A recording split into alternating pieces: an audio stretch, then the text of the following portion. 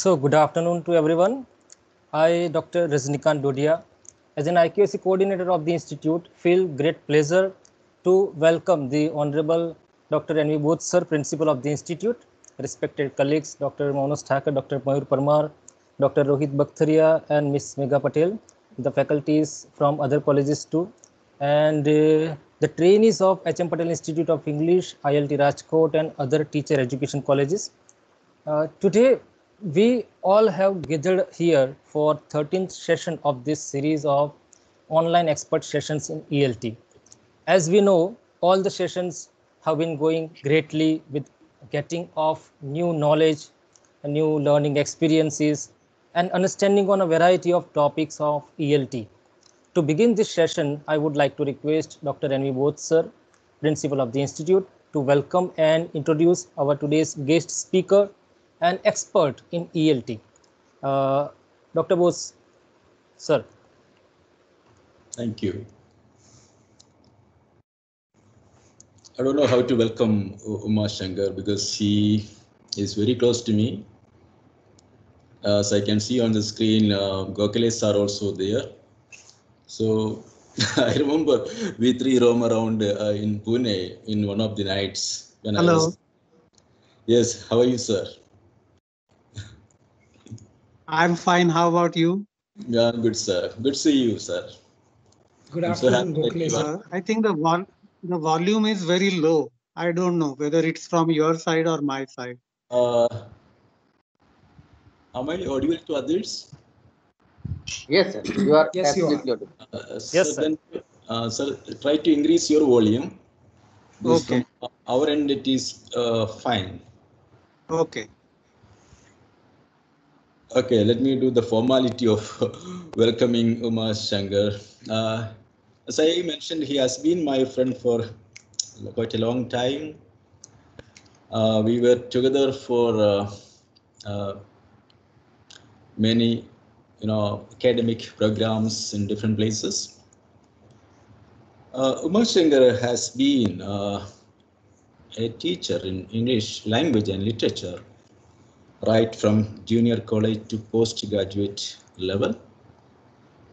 Uh, now, uh, as I believe that he's working uh, with uh, uh, Vikhe Patil Foundation Pune. Uh, if I'm pronouncing wrongly, please excuse me. and also, he has been associated with uh, a British Council as a uh, trainer in speaking exams. He has been the editor with the Symbiosis Institute of Distance Education Pune.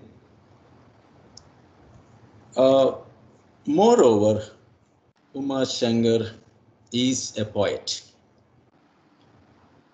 Uh, I read his stanzas often he puts on Facebook, you know, I'm so happy to read his stanzas in English.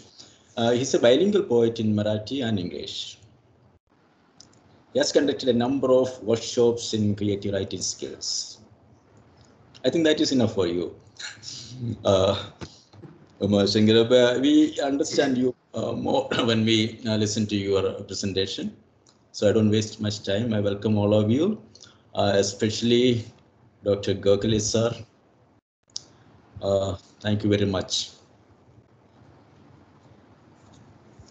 Over to you, Uma Shankar. Thank you, Dr. Bose. Good afternoon, everyone. Uh, first of all, my profuse thanks to Dr. Bose for this uh, lofty introduction. Uh, it's a protocol, though, to introduce the guest in a lofty manner at such events, uh, but you really feel nice and uh, important as someone reads out uh, the so-called achievements mentioned on the CV. thank you, Dr. Bose. Uh, friends, aren't we a different generation? A masked generation, a socially distanced generation, and whatnot. The online communication, the online learning and teaching has become the new normal. And as far as this lecture series is concerned, uh, it is a part of this new normal.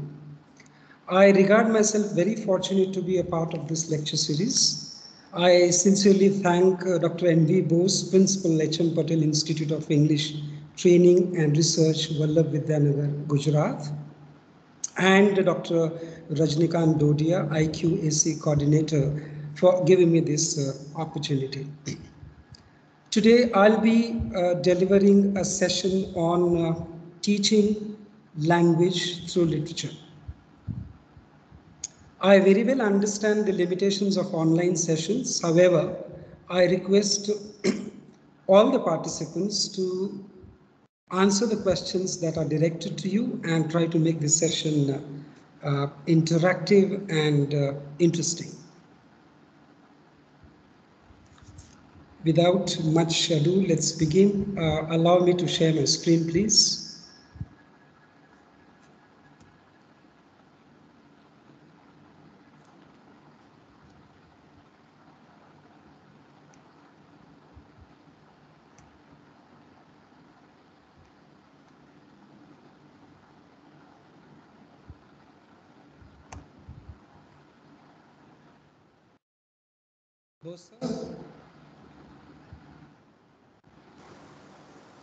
Can you see yes, sir, screen? it's visible. Okay. Yes, yes, absolutely. All right. Uh, it is very important to know what exactly you are going to study in this session. You are going to learn in this session rather than uh, saying studying. Uh, you Uh, session is basically Uh, yes, sir. Can, uh, can you run it uh, in presentation mode, sir? Oh, oh, thanks. Thank you, sir. Is it fine now? Yeah. Yes, yes, fine. So to understand the literature as the resourceful input in the English language learning, uh, basically I have divided this session in two segments. Of course, there's no break, but uh, initially we'll talk about the history and uh, some uh, theory part of literature. And maybe towards the end, we can discuss how uh, various language aspects can be incorporated in the teaching of literature. So uh, by the end of this session, hopefully you'll be able to understand how literature is integrated, you know, with language and how they've been used to uh, sharpening the language skills. Also to learn and understand the role of various genres of literature in language learning. Uh, you will also learn uh, the strategies to incorporate the elements of language in the teaching of literature. This brings me to uh, to the very first question, and I expect an answer from you. What do you understand by literature? What is your understanding of literature? Please do not hesitate, otherwise, it will become a kind of one sided session. Yes, sir. Can I? Yes, please. Uh, yes, in my opinion, uh, literature is everything that we find around us in a written form, as well as the, for example, books that are written, the articles, the newspapers that we read uh, daily basis. Apart from that, the works that have been uh, just written for as a kind of presentation mode, right? they can also be considered as a literature. Yes. Yeah, you're absolutely right. Uh, there's no specific definition of literature. However, there are many writers who try to, you know, define this, you know, uh, according to their convenience rather. We will be talking more about it little later. Now, my second question to you is, uh, imagine you attended the class, uh, let's say uh, you attended two classes. One is on grammar you know, section. Let's say you studied direct and indirect speech in one of the grammar classes. And uh, the other class is based on literature where you studied uh, uh Daffodils or maybe The Doll's House by uh, Henrik Ibsen. And if you're asked a question, which class did you enjoy the most? Uh, what do you think would be your answer?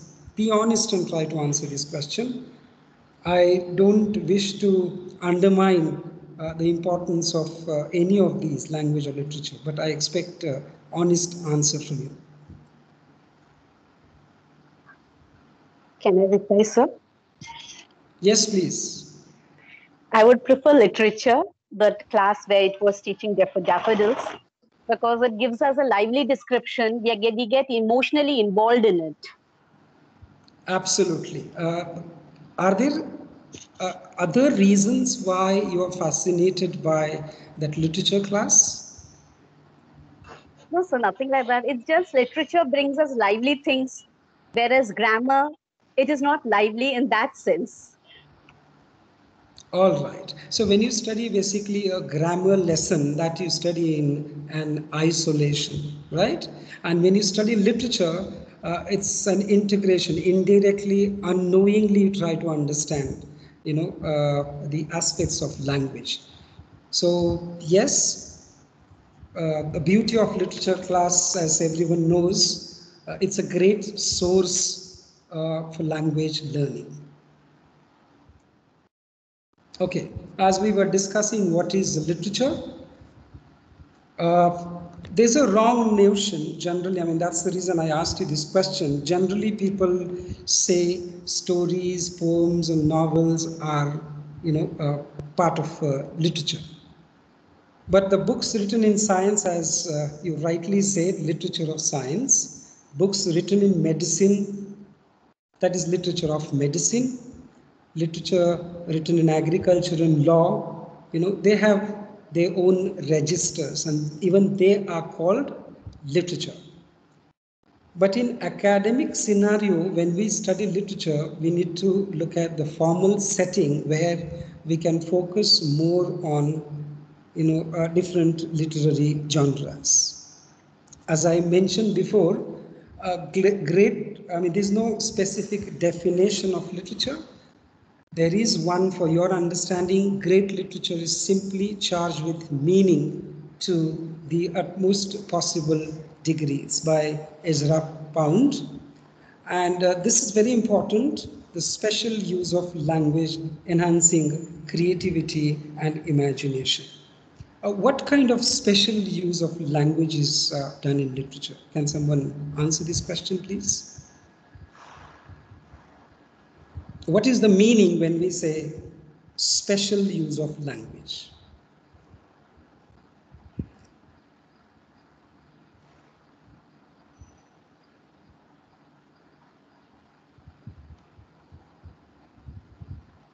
Akaba, it's it's not a difficult question. Uh, sir, will you please uh, repeat your question, please? Yes, uh, the fourth point here, when we try to understand what literature is, uh, it says special use of language uh, is there in literature. So, what do you understand by special use of language?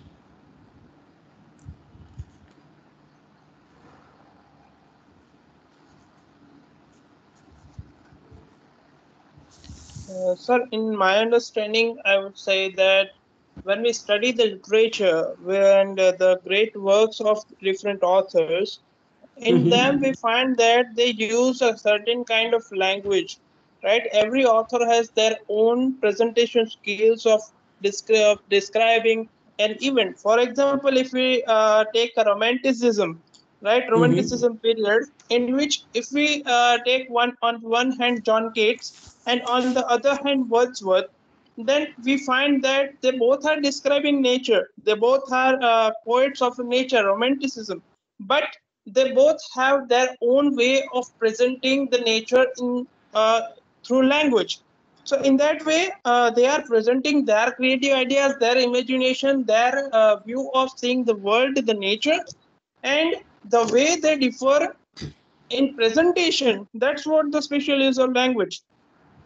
Thank you very much. Uh, yes, special language in the sense, uh, as you all know that the language that we use in day-to-day conversation is always different than the language that we, you know, use or read in uh, uh literary texts. Uh, let me give an example uh, to simplify this. in any grammar class, if you study, let's say, present perfect continuous tense, very often teachers tend to use simple sentences. I mean, there's nothing wrong in that. You know, for example, he has been teaching English uh, for the last 19 years. Would be an example of present perfect continuous tense.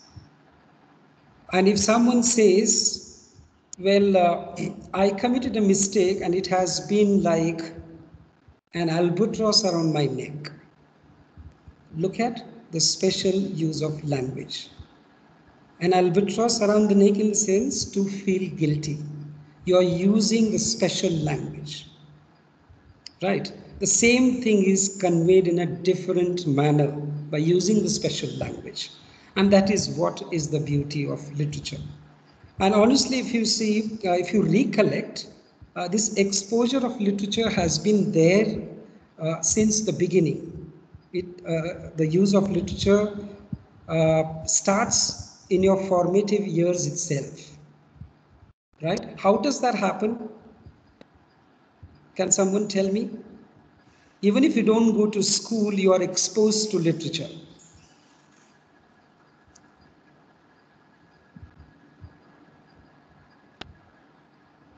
Our scriptural text, uh, Mahabharata. Okay, Mahabharata, all right. Simplified stories maybe from Mahabharata. Your parents and grandparents uh, narrate stories for you, right? Uh, they also recite poetry. Uh, they sing for you. This is nothing but literature. Of course, uh, it's not a formal setting.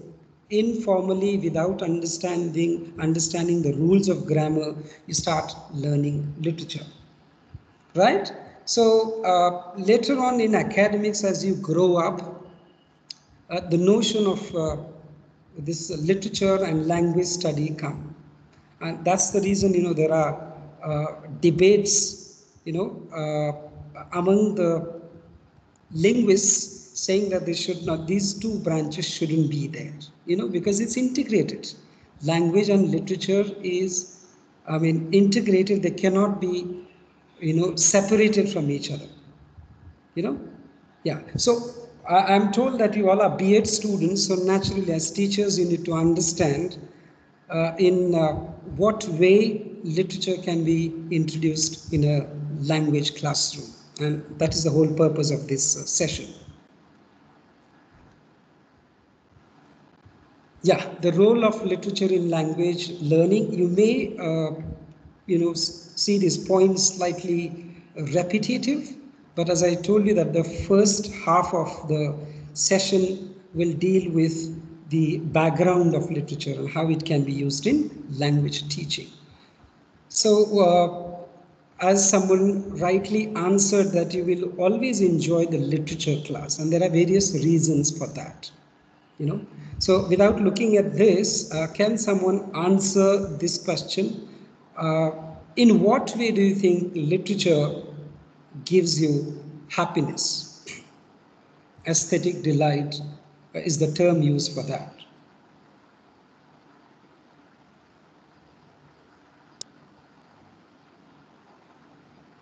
May I, sir? Yes, please.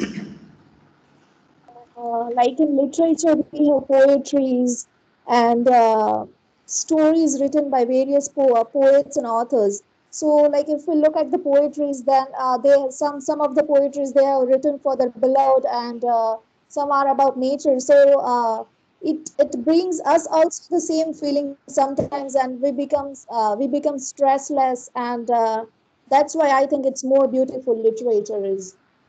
Yes, uh, it's basically an integration of. So many things. You, you study language at the same time. You study you enjoy the literary aspects that are involved in that uh, literary text or in that work of art, right? So uh, the first point says it helps the students unravel many meanings in a text with the guidance of the instructor. And uh, all, all these objectives are written from the language perspective. Try and understand that. So uh, people generally talk about vocabulary enrichment, vocabulary development. You know, so literature plays a very vital role in that. Helps the students explore multiple levels of uh, meaning in a literary text. It's almost the same thing, but then uh, you are able to understand the difference, the difference between the literal meaning and the metaphorical meaning. Let me give you an example. Uh, there is a poem called The Brook. In that, there is a refrain used by the poet that's men may come and men may go, but I go on forever. It's very easy to understand the literal meaning but you you may have to understand it in depth you know uh, the metaphorical meaning that is involved in these lines. And that's the reason you know we still have uh, a kind of uh, notion how right is that I, I don't know but then people who study literature has always been given a lot of respect in the society you know? Uh, this might be uh, this may sound a little controversial and uh, all these ELT people are attending this session. Again, as I mentioned before, I don't want to undermine the importance of language study, but we are discussing the role of literature in language teaching. Help students to value diverse cultures. Yes, as Indian students, you can uh, study American literature without going to that country. You are able to understand uh, the social and political background of that country. And as we discussed, it not only educates but also delights. You know that learning happens unknowingly in a you know in a very good manner. You know, in language class, what happens? Uh, there is a specific purpose. You know, uh, if if a topic is taught to you, let's say active and passive voice, there's a clear cut specific objective behind it that you should be able to understand the sentences in active or passive voice. In literature, what happens is the teacher very consciously does not highlight you know the uh, or does not specify the objectives of literature teaching so you enjoy at the same time you learn various aspects of language. Of course, we'll be talking more about it a little later. And it undoubtedly sharpens the linguistic skills. And uh, today, literature in second language class has a very important linguistic input for students, as I mentioned before. It's a valuable source for learners' motivation and it has long been revered as a source for both language learning and uh, language acquisition. Uh, I know you know the difference between language learning and uh, uh language acquisition. Yeah, uh, this is uh, very important as I told you that during our childhood you are always exposed to literature unknowingly. As you slowly get into uh, education, you finish your secondary education, senior secondary education, and then people start talking about literature and language as two separate branches. So what happens is uh, earlier, uh, if you ask your grandfather, he, grandfather or grandmother, he or she will be able to tell you that they studied literature. They in fact studied language through literature. So ELT was not very popular at that time.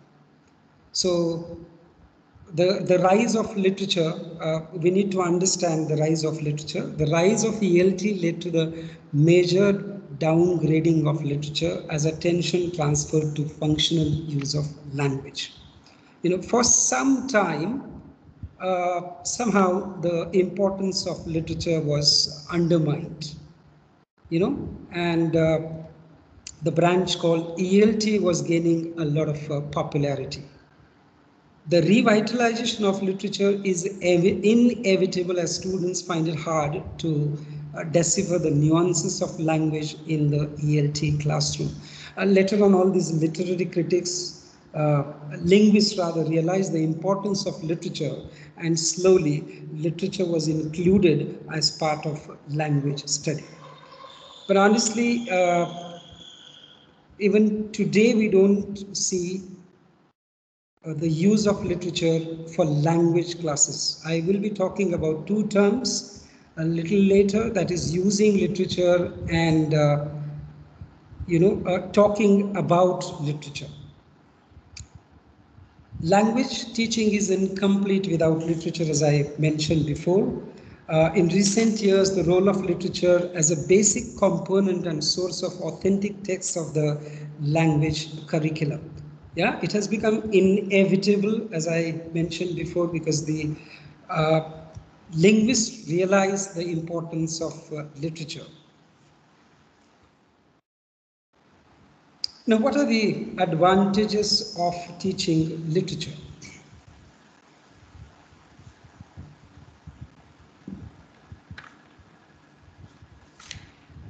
may, i get some advantages from your end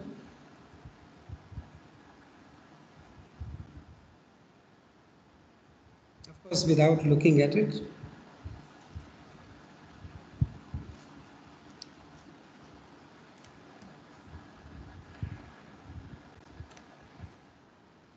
All right, no worries. Uh, traditionally, the role of literature was not taken into consideration in English language teaching programs due to the importance given only to functional language uh, in the course of time, the importance of literature was realized, as I mentioned before, and its use in language learning has become inevitable. There are various uh, uh, advantages. Literature can be uh, very enjoyable to read. It provides examples of different style of writing, mirrors various authentic use of the language. It is a good basis for vocabulary expansion. It fosters reading skills. It provides a platform for discussion or writing.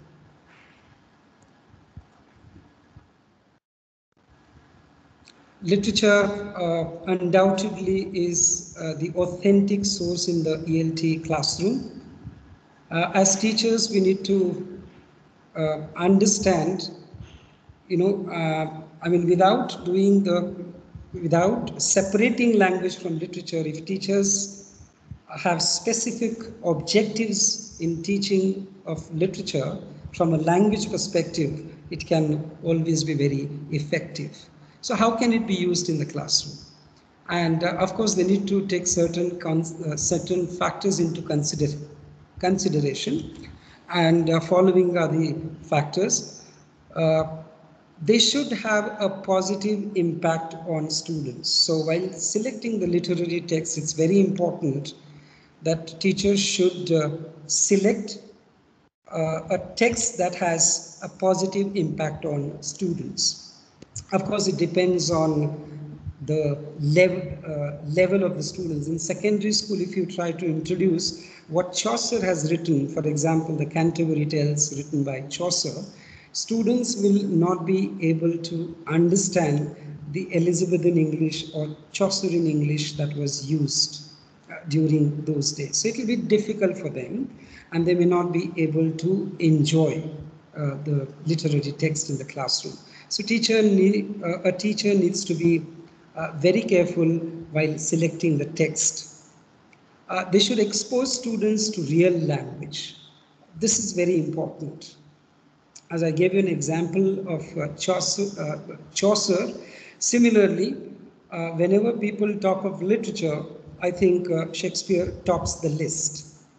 But then understanding Elizabethan and Shakespearean English, let's say at secondary or senior secondary uh, level, is not that easy. You know, uh, archaic words and phrases would be very difficult for students to understand. So that factor uh, needs to be taken into consideration and they should be exposed to the real language. What do you understand by real language?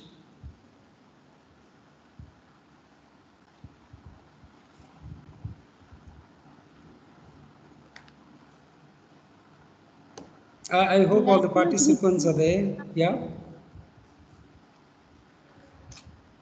Yeah, please, please go ahead. Like language which we use in our daily life. Okay, yes, language we use in daily life, in day-to-day conversation. It's called real language. You know, uh, so you should be able to, as as teacher, you should be able to teach them real language. You know, uh, in the classroom, because in our day-to-day life we don't use the language that is associated with. Uh, you know, those literary expressions cannot be used in our day-to-day language. Also, uh, they should cater to the different needs of the students. You know, uh, so various skills of language need to be taken into consideration. So you can have recitation in the classroom. You can give certain assignments uh, for writing.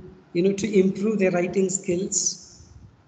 Selection of the text based on the level of the students. I have uh, already explained this point you know uh, so a teacher has to understand what exactly is uh, you know uh, age appropriate and accordingly a text can be selected.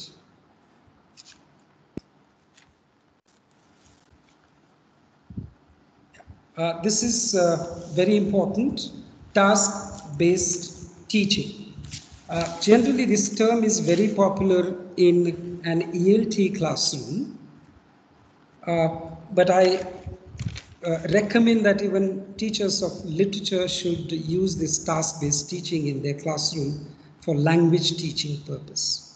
You know, so using literature is more important than teaching literature. As I mentioned this before, uh, very often teachers tend to teach literature in the classroom. Uh, what do you understand by this term, teaching literature?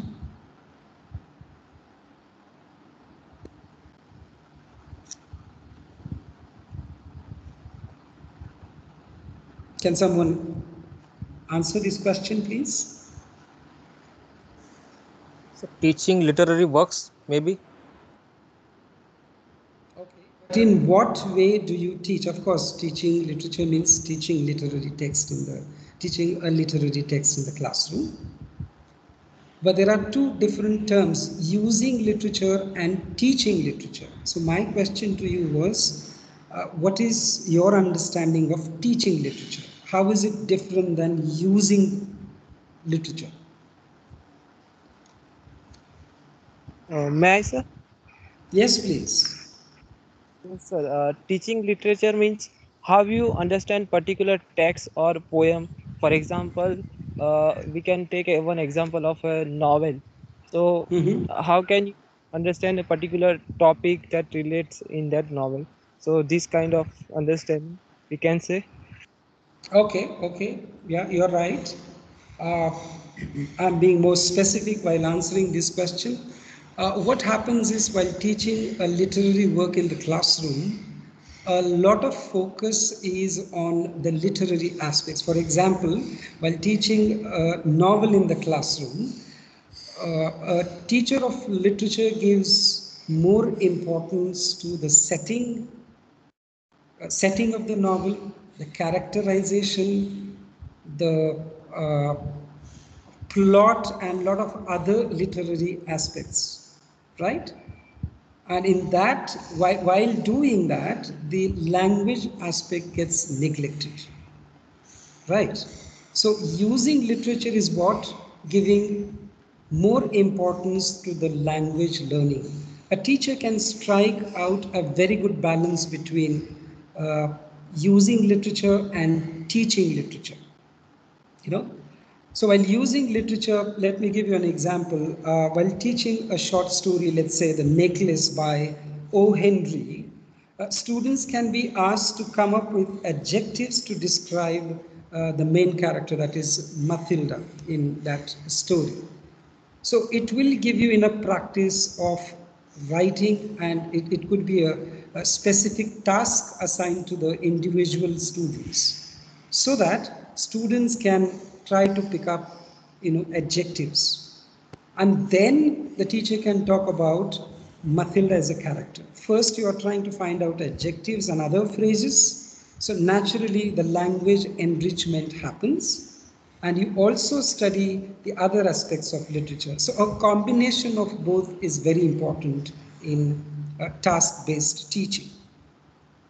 Specific task should be assigned to the students while teaching literature. As I gave you one example, highlighting a specific language skill should be assigned to the students. For instance, uh, while teaching a popular poem, Goodbye Miss Pushpa T.S. by Nissim Ezekiel, uh, what teacher can do is, a teacher can ask students to locate the incorrect use of continuous tense in the poem and uh, ask them to write the correct sentences. As you all know that Nissim Ezekiel uh, has written Indian feature, has used Indian features of, uh, uh let's say, features of Indian English in his poetry.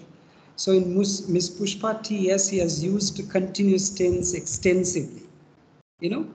Uh, so it, it may be grammatically wrong, but as teacher, you can simply ask students to point out those structures, you know. So it would be a good drilling of tenses in the classroom. And then you can shift to the critical appreciation of poetry. This is just an example. And uh, of course, this is applicable to uh, the novel, drama, uh, poetry, short story that you teach in the classroom. So uh, giving specific task is uh, very important. Task completion is uh, has priority. Why do you think task completion has priority?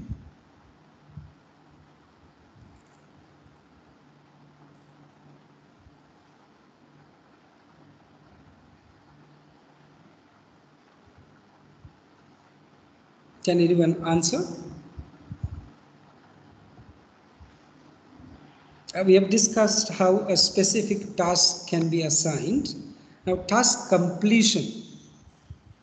Uh, this is very important for a teacher to specify the time limit.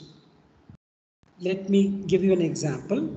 Uh, the same example from O. Henry's story. If you uh, ask students to find out the adjectives to describe the main character, you can assign, let's say, you can give them the time limit that in these 10 minutes you should be able to come up with these ad adjectives.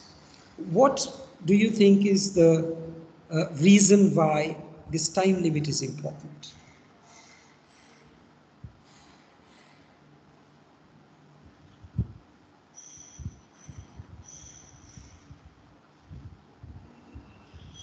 Well, uh, it's being absolutely one-sided and there's no participation. Sir, uh, uh, may I, sir? Yes, please. Uh, this time limit is important because it can uh, make uh, one clear that and how am I supposed to present what am I going to? Yes and how precisely I have to convey the idea that uh, for which am I here.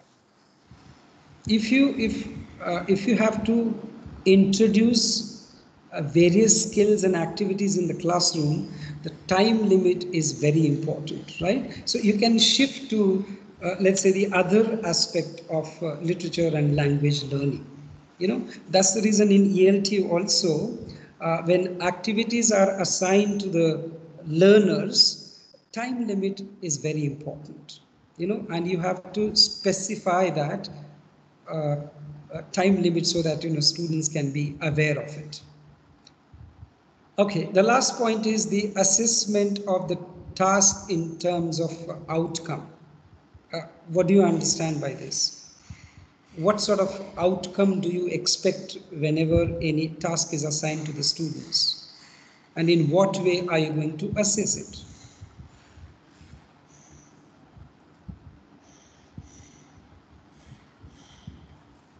I know uh, you had a session by Nitin Pillai sir on assessment and testing. So I'm sure he must have talk, uh, he must have spoken about assessment and testing. So in what way are you going to assign the task? Will you have any exam?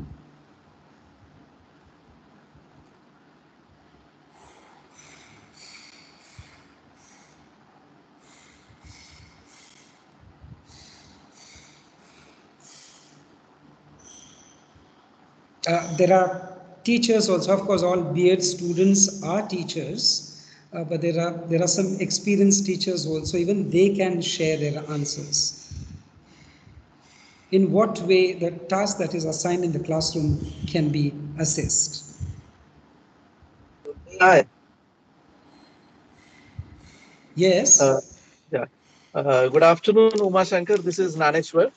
Uh, Good afternoon.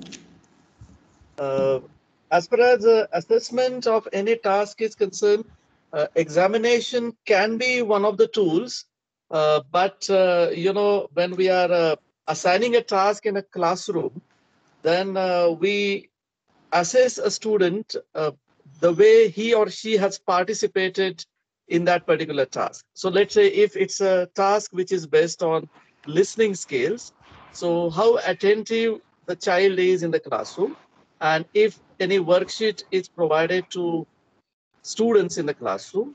So if there are exercises, let's say fill in the blanks or uh, some uh, answering questions in one sentence or so. So how participative the student is in a classroom and how many answers does he get right. So that shows that uh, whatever task we performed in the classroom, and if he gets, uh, let's say, maximum number of uh, is correct, that shows that uh, definitely the task uh, which a teacher has conducted is successful. So Thank this you. is about Thank you, Maneshwar, sir. Yes. Uh, basically, that is what is the intention because all these activities generally take place in an ELT classroom. Uh, so what I'm trying to say here is while teaching literature also if you resort to such activities, you know, uh, your classroom teaching can be very effective and there's no need to conduct any uh, particular examination to test the outcome. As you rightly said, uh, if you encourage students to come up with their answers and if you uh, conduct various activities in the classroom, you can get the outcome. And of course, ultimately the outcome is what? Their language development. So task-based teaching is very important. Uh, now let us discuss uh, what kind of text can be taught in the classroom. Should we teach the original text or uh, simplified or abridged versions? And uh, what is your answer to this question? It's open for all. I'll be extremely happy if uh, B.Ed students answer this question. What kind of text you think can be introduced in the classroom for language teaching?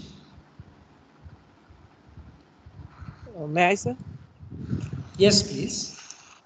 Sir, Uh, we I- can select as per the level of, uh, as per the age of the students. Right. And uh, I, Uh, I did share some of the examples, right? Introducing a Shakespearean play, let's say, in the secondary section uh, in an original form uh, would be very difficult. Children won't be able to understand, they won't be able to, you know, enjoy that and forget about uh, uh, uh, the language learning in that literature class. Yeah, go ahead. You were saying something. Yes, sir. So the text must be as per their level so they can easily understand the particular uh, content that we are going to teach them. Yes. Uh, the text in the original form is always impactful, right? In, in every sense, there's no doubt about it. But it may not be possible to select the original text because uh, of the difficulty level, as we discussed before. So a teacher has to be really uh, careful while selecting their test. So simplified or abridged version can also uh, prove to be useful, right? Four language skills, that is listening, reading, writing and speaking, and other language areas such as vocabulary, grammar, and pronunciation are of great significance. Yeah, it, it is understood that while teaching language, all these factors need to be taken into consideration. And as I have given you an example uh, of O. Henry's story, where you are expecting students to, uh, you know, uh, find out adjectives of uh, with regard to Mathilda's character, to describe Mathilda's character. Similarly, for each and every skill, uh, a teacher can conduct various activities, even in a literature class. You know? Yeah, so uh, LRWS and uh, vocabulary, grammar, and pronunciation uh, need to be given uh, enough uh, importance. As someone rightly said in the beginning, even other forms of literature are important. It's not necessary that you have to study poetry, short stories, drama in the classroom. In fact, uh, modern generation is very fortunate. You know, a lot of online material is uh, available. You know, so films, uh, no doubt, is the best form of teaching uh, language. You know, using literature Advertisements can also be used in the cl classroom as part of literature. Audio, comics, and uh, you know uh, other blog and web prog can also be used as part of uh, literature. It again uh, depends on the uh, kind of age group where you are going to introduce these uh, texts as the source of literature. Yeah. So uh, here is an example of literature lesson incorporating the aspects of language. Of course, due to the time constraint, I will not be able to read out the actual script uh, of the Voice of Community. This is a lecture delivered by Rabindranath Tagore. Uh, I, I don't claim that this model is the perfect model. It is at definitely your discretion to add more points to this.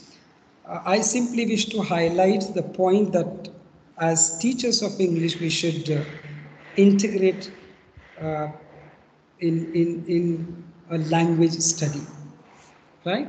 So vocabulary can be the first aspect. So you can specify the objective, you can decide this very well in advance, which skill are you going to test uh, under vocabulary, you can choose certain words and phrases, and maybe you can give them the question. Make sentences with the following, you know, and there are certain words in that lecture. Thundering, perpetual, disharmony, inhospitable. So you can ask students to use these words. They can either answer these questions or write these words in the classroom. So here you're not focusing more on the critical analysis of that lecture or, or the text. Your focus is mainly on literature.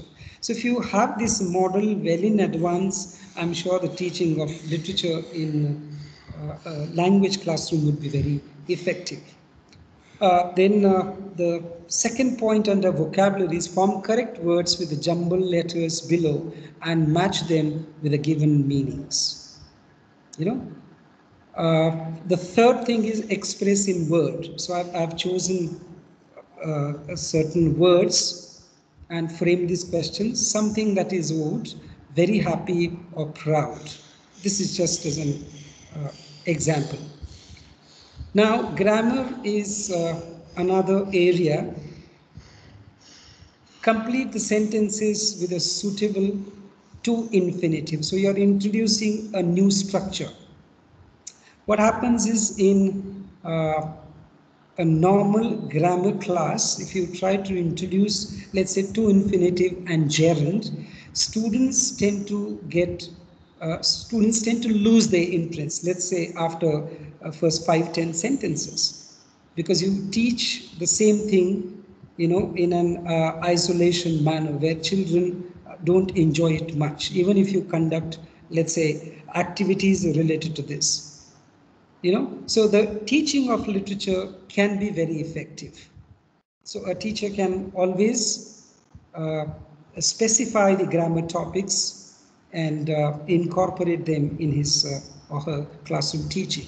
Insert the following contracted forms in the correct places. Uh, this is applicable to the uh, lower level students, you know, because there is incorrect use of contracted forms. Uh, it was mentioned in that lecture and therefore I have added this question here. A composition, uh, you are also testing the speaking and writing skills and therefore uh, composition writing, you can either ask them to speak or you make them write. And for that, I have uh, framed this question. How far do you agree with the author's views? Do you think man has yet to learn how to use science properly? Uh, well, I request you to uh, go through this lecture in detail and you can add your own points. Yeah, so this, this is open-ended uh, sort of question where children can take part in the discussion. Now, comprehension. Why did Tagore feel the urge to visit Europe? So unless they comprehend what they have read, what is uh, taught in the classroom, they will not be able to answer this question. So in this manner, you can have a model set even in your literature class when you're teaching lessons and you know other forms of literature and can give importance to uh, the uh, language development in the classroom.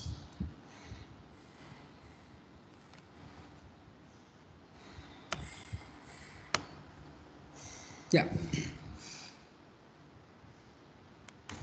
So this is what has been uh, mentioned earlier, uh, especially in writing, uh, you can have a model for writing to encourage them to write more in a good manner.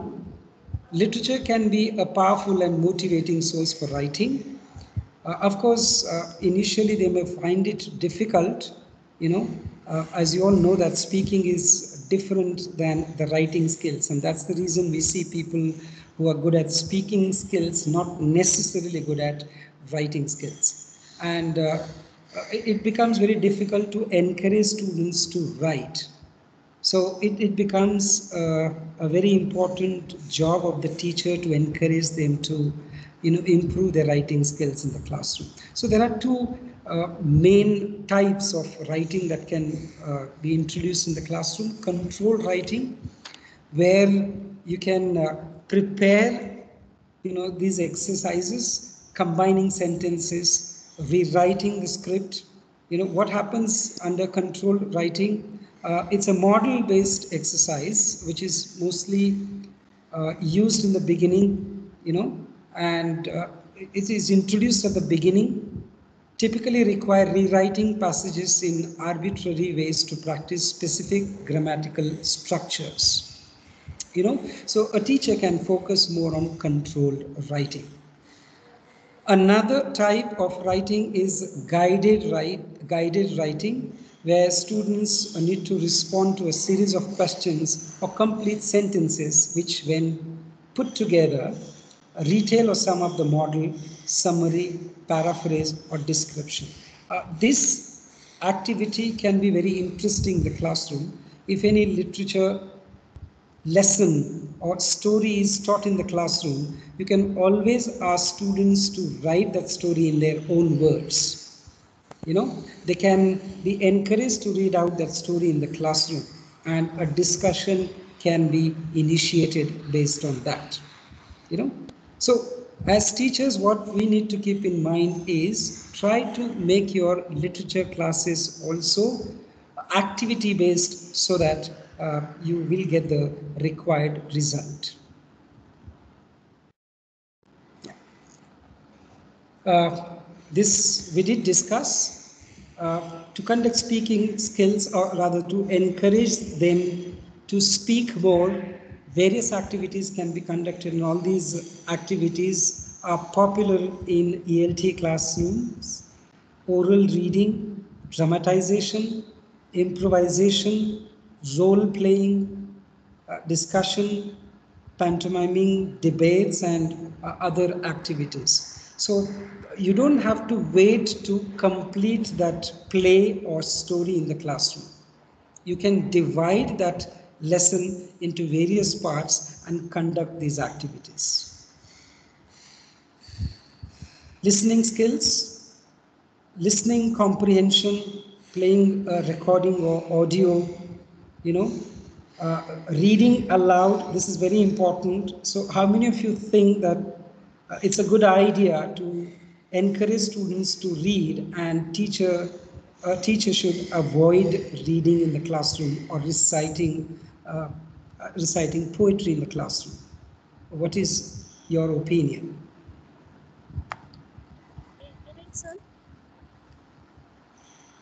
Yes, to improve their listening skills, reading aloud is a very good activity. So my question to you is, uh, would you encourage students to read loudly or recite uh, poetry or as teacher you would uh, set a model for them you will do it first and then ask them to read or recite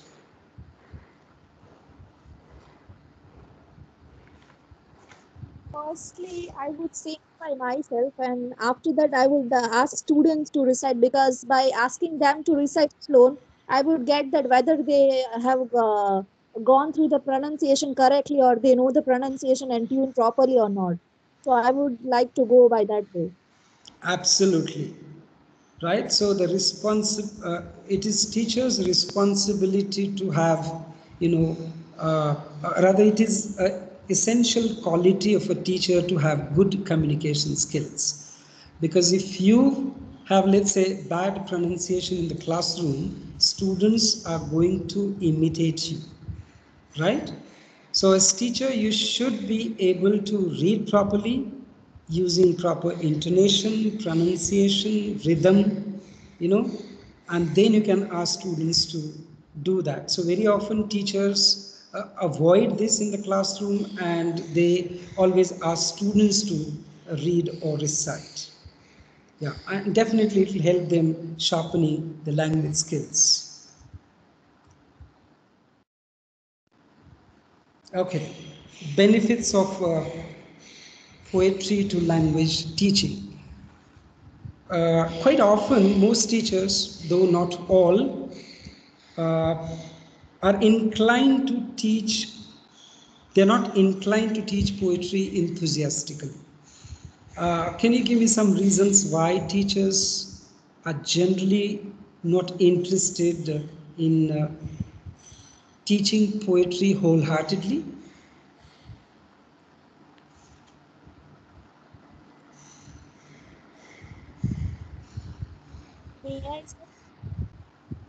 Yeah, why do you think teachers are normally not uh, interested in teaching poetry with great enthusiasm? Because for teaching poetry, one thing is they need to be uh, proper in recitation and they should uh, know the in-depth meaning of poetry. Like in stories, we can easily make out that what the sentences say. But that's not case with the poetries. For poetries, the teacher himself or herself had to read that poet two to three times and then he would be able to make out the real meaning like what poet wants to convey. Right. So do you think uh, language can be taught using poetry? Yes we can teach language by using poetry. All right. Thank you. Thank you for your answer. Poetry has its own grammar right? Uh, poets use poetic license freely and that is the reason the grammar of poetry is different than the traditional grammar uh, that we use in uh, language, right? Uh, very often it's artistic and poetic use of language. As you rightly said, uh, certain words are coined by the poet himself and students are not aware of it even certain structures are employed by the poet uh, are different in in day-to-day -day language. Probably those sentences are incorrect you know? So yes it becomes a challenge for a poet to teach language through uh, uh, poetry, but then uh, it, it has proven that the use of poetry is very effective in language teaching. Deviation from normal language, as I mentioned before, uh, very consciously the poet tries to use a different language. He coins uh, different words and phrases. Poetic devices, uh, this can be the best way to teach poetry because you're using special language. So whenever poetic devices such as metaphor, simile, uh, antithesis, personification are used in poetry, you can conduct an activity in the classroom. Of course, as teacher, you need to explain what metaphor is. You can give the examples. You can ask students to find out similar examples. And then you can uh, kind of encourage them to come up with uh, many such metaphorical expressions which can be used in day-to-day -day life. Right? Yeah. It also sharpens analytical and critical skills which are instrumental in the development of language. This is very important. Uh, every time you cannot teach language in isolation, you know, uh, unless students are taught how to analyze poetry critically, they will not be able to, you know, uh, speak or use the language effectively. Uh, poetry is a practical tool for language learners. We have already discussed this. You know, uh, a teacher needs to do a lot of homework before he or she introduces poetry in the classroom for in order to teach language. Okay. Uh, another attempt just to tell you how poetry can be used in uh, in a language class. Uh, it's a sonnet uh, written by William Shakespeare. Again, I did not use the entire poem because of the time constraint, but there are first five lines. I, would like to recite those lines. Let me not to the marriage of true minds admit impediments, love is not love, which alters when it alteration finds or bends with a remover to remove that looks on tempest and is never shaken. So, yes, as I mentioned earlier, it, it becomes very difficult to teach language through literature. A teacher needs to do a good homework, you know. So look at the model that's designed uh, from the language perspective, listening skills, of course, recitation can be uh, one of the effective ways to sharpen their uh, listening skills, right? So you can ask students, maybe stanza-wise recitation can be done in the classroom. Vocabulary, the words that are used in this particular stanza bears it out. So you can ask students to find out the meaning. Alters, impediments, bends. So to do this, you can encourage them to use uh, the dictionary in the classroom so that they can find out these words. Uh, grammar can also be taught, though I mentioned poetry has its own grammar. Make five sentences using let me expression, right? Uh, the expression beginning with let me is used in day-to-day -day conversation, right? Let me do this, let me answer this question, let me speak, let me go, let me exit. Right? So you can uh, do this kind of drilling in the classroom. You can encourage to come up with uh, these expressions. Alter is a verb, alteration is noun, and you can ask students to use these words in their own sentences. I'm sorry, it's a typo error, double N. Uh, find out the similar words in the poem. Yeah, uh, the use of passive voice is never shaken. So you can ask students, of course, you need to introduce what active and uh, what passive voice is. And accordingly, you can ask them to choose, ask them to find out these structures in poetry. And of course, you can encourage them to have uh, many more such structures. So even grammar can be introduced through uh, poetry. Uh, to let's say uh, encourage them to practice the use of passive you can ask them to uh, i mean this can be conducted when activity in the classroom after the poem is taught. Write a recipe of your choice using passive voice you know?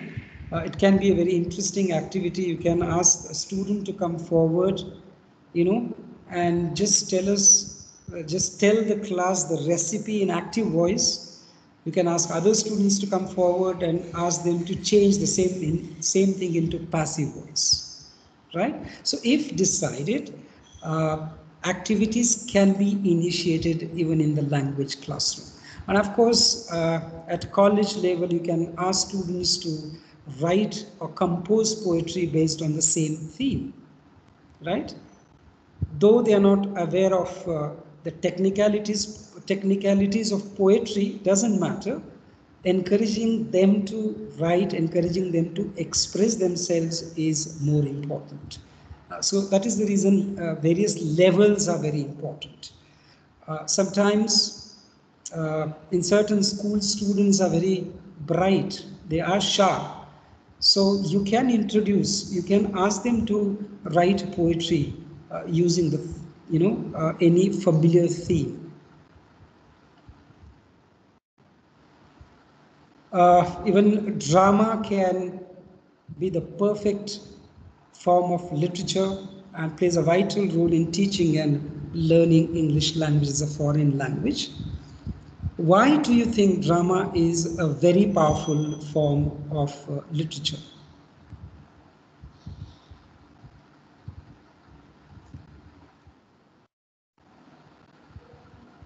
Another typo error, I'm extremely sorry for that. May I get the answer for this question? Why do you think drama is a very powerful form of literature? May I, sir? Yes. Because in drama, it feels like as if it is live, so students can grasp the language easily, and as they are also performing, so they'll uh, remember the things because they they are doing that thing. So that way yeah. literature uh, would be good in drama form drama is full of uh, action you know uh, there's a lot of uh, acting there's a lot of movement even uh, the the dialogues that are in the play are not uh, sort of dull and drab right it excites students to enjoy the drama and therefore the use of drama proves to be very effective in uh, the language class. Tell me and I forget, teach me and I remember, involve me and I learn. Uh, this is a very important quote. So whenever you are narrating something, well, children might forget what you have narrated in the classroom. Teach me and I remember. You know, yes, uh, teaching is slightly different than telling. So consciously if you try to, let's say, teach something using your gestures in the classroom, using your voice intonation, well, children may remember uh, to what you have said. Involve me and I learn, and this is what happens in case of drama teaching in the classroom. You know, involvement is very important.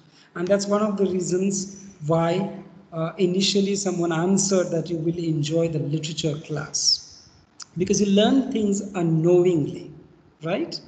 Yeah, so involvement is very important.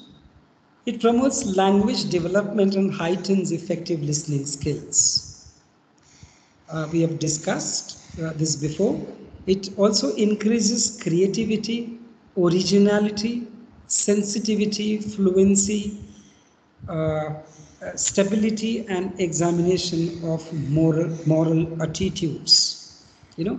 So uh, uh, there's a lot of scope to conduct various activities based on the play. You can uh, have a role play in the classroom. You can have a dramatization in the classroom right uh, you can uh, enact maybe based on the same theme you can write uh, you know you can encourage students to write a play and it can be performed in the classroom So yes, drama uh, is the most powerful form of literature.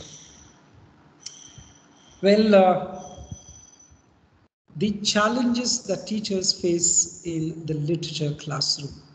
You know, uh, it's definitely not that easy. Of course, consciously we will have to strike a balance between language and literature.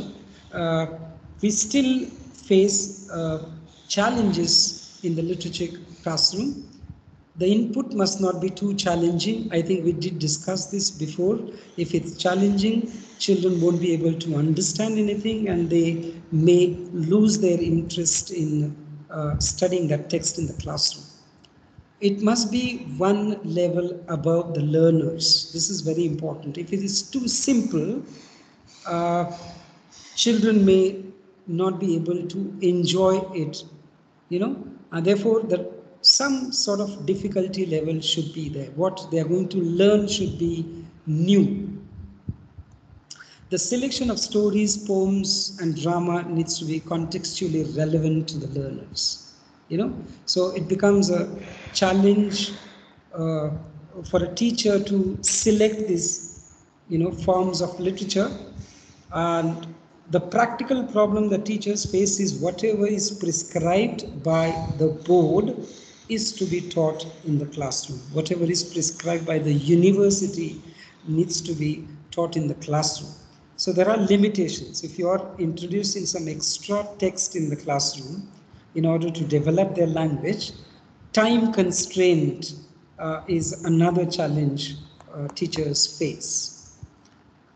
Well, uh, the text that you select should be engaging and involving.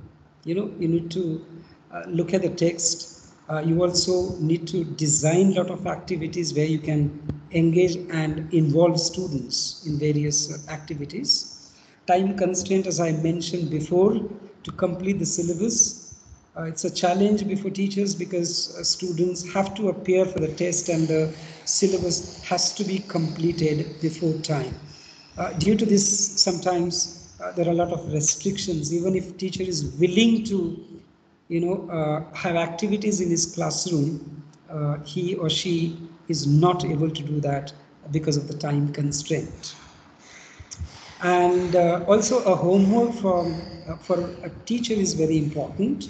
It takes time to design the skill-based activities. Uh, even if these challenges are there, uh, we as teachers need to, you know, be enthusiastic you know, be clear with our goals and objectives in the classroom and uh, use literature effectively in order to improve the language of the students. Uh, to conclude, there is a quote by John Stackey, while the arts are the algebra of emotional expression, literature is the arithmetic Music and the plastic arts seek to express the generated essence of man's predicament in the universe. Literature, for the most part, attempts to eliminate some particular predicament of a particular man or a particular woman at a given time and place. You know, uh, I, I, said something in the beginning, and contrary to that, I think I've given a slightly difficult quote to conclude my session. But yes, as teachers, you will be able to understand what I uh, tried to say. So yes, I'm not an expert in this field, but I tried my level best to just give you some idea how language can be, how literature can be incorporated, uh, how literature complements, in fact, in language learning. Uh, I will be give you the list of the reference books. I will uh, mail it to Bose sir and he can share the list of those books, reference books. Uh, you will study more on this and as teachers, you will be able to, let's say, uh, conduct various activities. You can teach literature in a different way from language perspective in your classrooms. With this, I end uh, my session here. Thank you very much. Oh, thank you. Thank you so much, sir. Uh, students, if you have any question regarding this session, uh, you can ask to sir.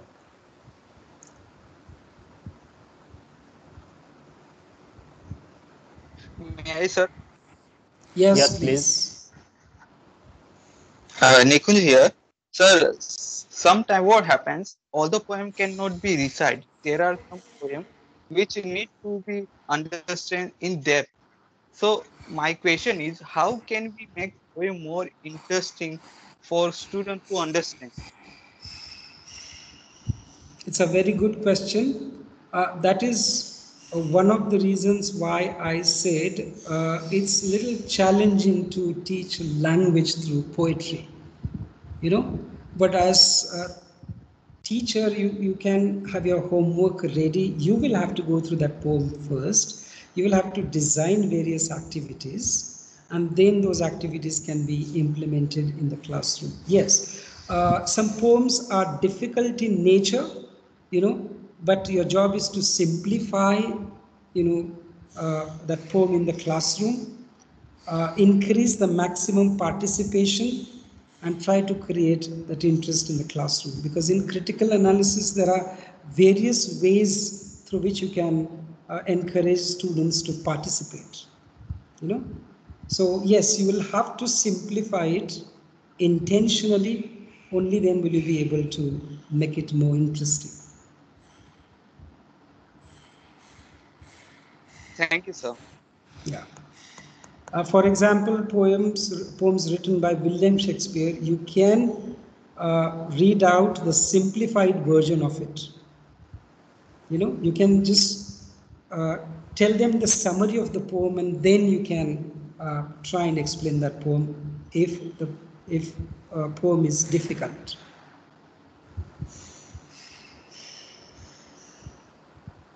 Any other question from student side?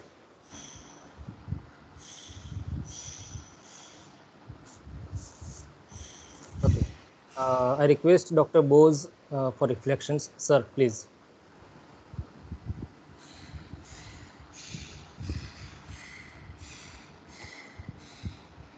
No, my reflection is only to say thank you to him because uh, in this uh, in this short time he agreed to present on uh, this topic, and uh, I only want to say thank you to him again.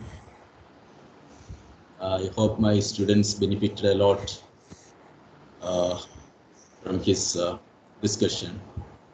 Thank you. Thank you, sir. I hope uh, all these would-be teachers have enjoyed this session. Uh, practically, it was not possible to, you know, have activities. You know, that's the reason it was a bit of a, a theory-based session. Thank you, sir. Uh, I request you, uh. Dr. Thakur uh, to propose vote of thanks of today's session. Thank you, Doria, sir. Uh, so, friends, good evening, everyone. Today is the ninth day and 12th session of the expert session series. And it is an honor for me to have an opportunity to propose a vote of thanks on behalf of my institution and on behalf of all the participants of the session. So, let me first of all thank Dr. Umashankar, sir, for such an enlightening session in a simple and lucid language. Sir, you always try to make it interactive and kept the participants thinking all the time, responding all.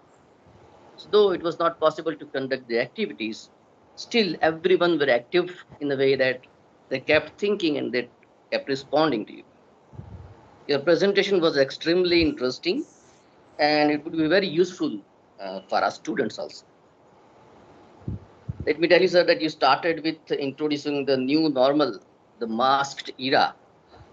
But I think it is this masked era that has made it possible that you are here on this online platform along with us.